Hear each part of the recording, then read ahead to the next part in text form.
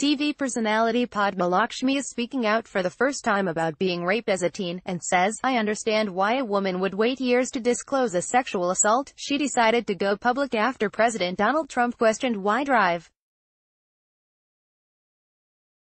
Christine Blasey Ford did not come forward with her accusations of sexual assault against Supreme Court nominee Brett Kavanaugh earlier.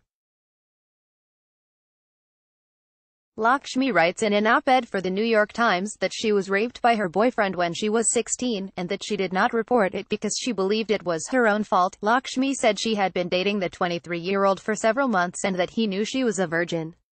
On New Year's Eve, they went to two parties and she was so tired she fell asleep at his apartment.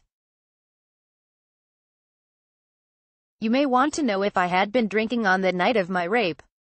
It doesn't matter, but I was not drunk, she writes. The next thing I remember is waking up to a very sharp stabbing pain like a knife blade between my legs, she writes. He was on top of me.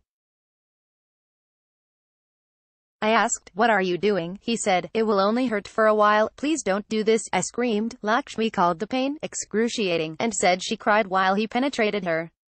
She writes, afterward, he said, I thought it would hurt less if you were asleep, then he drove me home. Lakshmi said she did not tell any adults because we had no language in the 1980s for date rape. She imagined that people would ask her what she was doing at his apartment anyway, and pointed out that when she was molested as a seven-year-old and told her parents she was cast off to India to live with her grandparents, she talked about the dissonance she felt from the trauma, writing, I'd always thought that when I lost my virginity, it would be a big deal, or at least a conscious decision.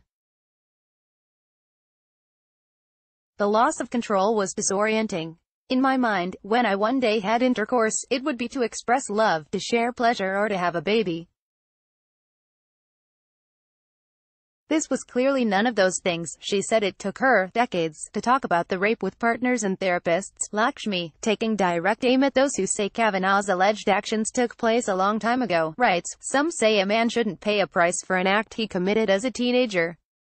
The woman pays the price for the rest of her life, and so do the people who love her. Kavanaugh has denied the allegations. Lakshmi said that as a mother, she has repeatedly instructed her daughter to speak out if anyone touches her inappropriately.